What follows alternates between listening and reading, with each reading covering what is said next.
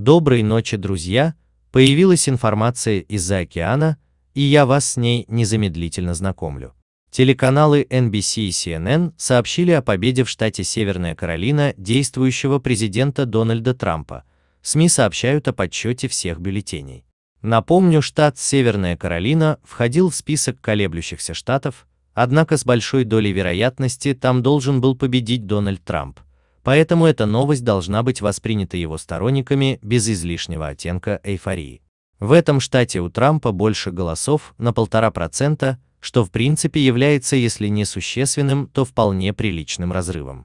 Напомню, победа в Северной Каролине принесет Трампу 15 голосов выборщиков.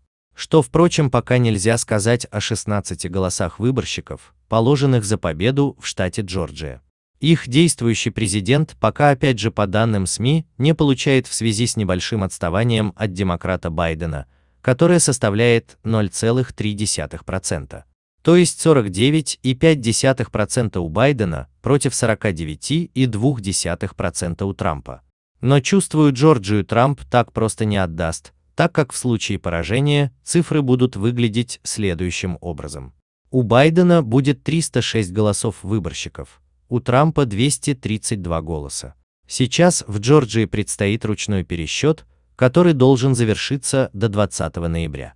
Однако к неудовлетворению сторонников Трампа, вице-губернатор штата Брэд Раффенспергер заявил, что пока не выявлено ничего такого, что имело бы массовый характер, ничего в масштабах более 10 тысяч бюллетеней. Напомню, что отрыв в Джорджии Байдена от Трампа составляет порядка 14 тысяч голосов. В любом случае необходимо подождать всего неделю, и тогда будет ясно, будет ли Трамп бороться дальше или сосредоточит свои силы для очередной предвыборной гонки за президентство через 4 года. Также прошла информация от РИА Новости об отзыве предвыборным штабом Трампа иска из-за незасчитанных голосов в крупнейшем округе Аризоны Марикопа. Напомню, в Аризоне по данным СМИ побеждает с очень незначительным отрывом в 0,3% Джо Байден. На этом мой выпуск подошел к концу. Подписывайтесь на мой канал, и вы всегда будете в курсе всех главных новостей дня в России и мире. С уважением, Ренат.